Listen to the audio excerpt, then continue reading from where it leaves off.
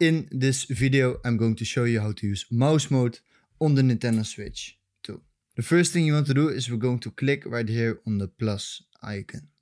Then what we're going to do is we're going to scroll to settings and we're going to click on settings.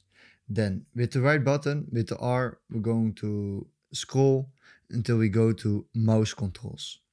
Then on mouse controls, right here it's on off and then you want to select or you want to have it on your right Joy-Con or you want to have it on your left, left Joy-Con. For this one, I'm just gonna say right. Then I'm gonna click save and then what we're going to do is we're going to detach the Joy-Con by pressing this button. I'm detaching the Joy-Con and we're going to attach the Joy-Con strap. Right here on the strap it says uh, plus the plus is right here on the Joy-Con. So what we're going to do, we're just sliding it in and just like this it clicks. Then if you put the mouse, as you can see, that's how you use mouse mode in Fortnite on the Nintendo Switch 2.